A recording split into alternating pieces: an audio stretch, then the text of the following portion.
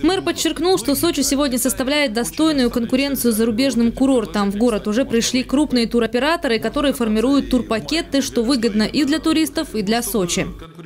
Мы просто говорим всем нашим э, россиянам, э, да, мы стали очень популярным курортом, да, нас полюбили туроператоры Китая, э, Ирана, Европы, в общем-то, но мы ждем вас, россиян, вот, потому что э, за российских туристов борются все курорты. Самый лучший турист – это российский турист. Но, как вы видите, сегодня в Сочи созданы все условия э, вот, и хорошие ценовые э, значит, предложения.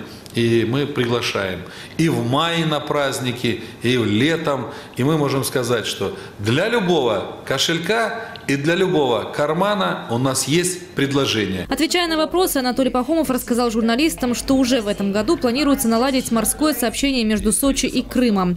Этот вопрос на повестке дня не только у города, но и на уровне правительства России. Речь зашла о стадионе «Фишт», который принимал церемонию открытия и закрытия Олимпийских игр. В будущем он сможет стать домашней базой футбольного клуба «Сочи», пояснил глава курорта.